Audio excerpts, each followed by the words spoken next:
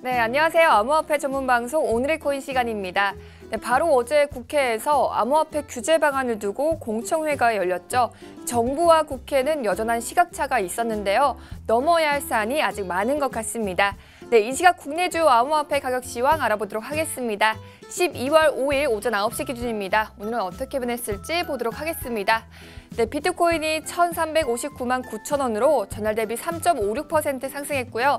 이더리움이 54만 6,100원으로 전날 대비 0.96% 상승했습니다.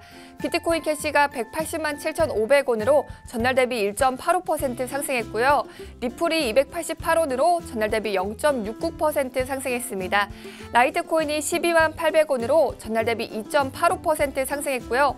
모네로가 24만 3,900원으로 전날 대비 6.13% 상승했습니다. 이더리움 클래식이 3만 4,180원으로 전날 대비 0.38% 상승했고요. 퀀텀이 15,830원으로 전날 대비 6.31% 상승했습니다. 네, 글로벌 암호화폐 시장을 분석해줄 송범선 애널리스트 나와주셨습니다. 안녕하세요. 안녕하세요. 반갑습니다. 송범선입니다. 아, 은피 씨, 바로 아루바라는 나라 아세요? 아루바요? 처음 듣는 나라인데 이름이 왠지 정감이 가는데요. 그렇죠. 네. 이 아루바가 아, 요즘 제2의 하와이로 불리고 있는 곳입니다. 그래서 그만큼 뜨고 있는 곳이고 아, 중앙아메리카 카리브해에 있는 섬 국가입니다. 그리고 네덜란드령입니다. 자 그리고 인구가 바로 약 11만 명밖에 안 되는 작은 나라인데 매년 관광객이 바로 120만 명이 넘습니다. 그래서 어, 자국민보다 관광객이 더 많은 나라입니다. 그런 나라답게 이 나라가 관광업이 제1의 산업으로 자리를 잡았습니다. 그러다 보니까 상당량의 이 관광 수입이 중개인이란 명목으로 온라인 여행사 및 항공사에 빠지고 있어요. 어, 그래서 이 섬의 기술 개발 재단인 에이테크가 블록체인을 활용해서 어, 중개인 도움 없이 관광객과 나라가 직접 연결할 수 있는 시스템을 도입하기로 한 거죠. 와, 그러면 중개 수수료가 안 되니까 나라에는 큰 이익이 되겠네요. 그렇죠. 이 아루바의 경제에 상당한 영향을 미치게 됩니다. 아, 아루바의 중앙은행도 블록체인이 나라의 GDP를 높여줄 것이라고 말을 했습니다. 아, 그래서 이, 블랙포, 이 블록체인 플랫폼인 아, 바로 2018년에 출시될 예정인데 바로 아루바가 이번 기회를 통해서 전 세계 새로운 기술을 선보일 뿐만 아니라 관광 사업이 주인 다른 나라에도 좋은 성공 사례로 어, 자리를 잡을 것 같습니다. 그래서 블록체인을 관광에 도입한다. 상당히 좀 기대를 해보죠. 자, 그럼 이제 가격적인 부분 차트 보면서 얘기 나눠보도록 하겠습니다. 네, 하루 동안에 일어났던 상황들 점검해 보도록 할까요? 일단은 공청회가 열렸죠. 그래서 금감위가 별로 안 좋게 발언을 했고 또 여기 국회의원들은 좀 긍정적인 시각을 어, 표출을 했습니다. 뭐 제가 TV를 보고 하니까 아, 좀, 좀 괜찮게 나온 것 같아요. 일단은 결과는 규제 이런 쪽도 말이 많이 나왔지만 아, 결국은 가격이 결정을 하죠. 그래서 가격이 모든 것을 결정한다, 뭐 받아들인다 이런 면을 봤을 때 모든 암호화폐들이 긍정적으로 받아들였습니다. 그래서 지금 보시면 비트코인도 계속해서 상승세로 나아가고 있는 상황이고요. 어, 지금 상당히 좀 긍정적으로 볼 수 있습니다. 이런 것에는 또 호재가 또 있습니다. 시카고 옵션 거래소가 바로 비트코인 이거를 선물을 좀 빨리 시작한다라는 말을 했어요. 그래서 비트코인 이 상품 거래소, 이 상품 시카고 상품 거래소부터 먼저 시작합니다.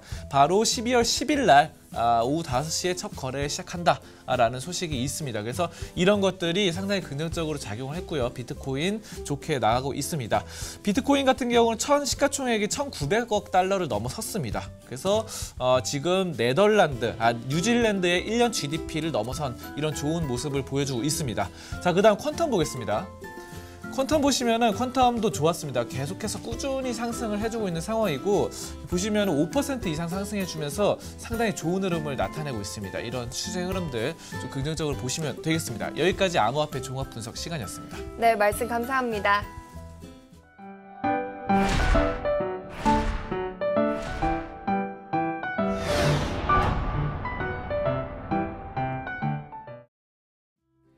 오늘의 비트코인 날씨에서는요. 맑은 소식 3개가 준비되어 있습니다. 흐린 소식은 없네요. 맑은 소식 보도록 하겠습니다.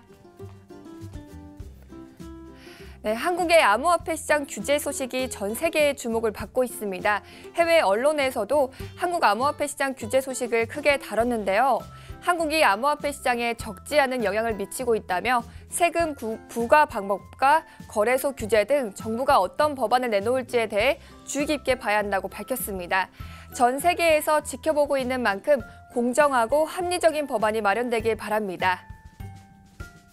시카고 옵션 거래소의 선물 상품에 이더리움과 비트코인 캐시가 추가될 예정입니다. 시카고 옵션 거래소는 라이벌 경쟁사인 시카고 상품 거래소와의 차별화를 위해 12월 이더리움과 비트코인 캐시를 포함할 예정이라고 빅뉴스를 발표했는데요.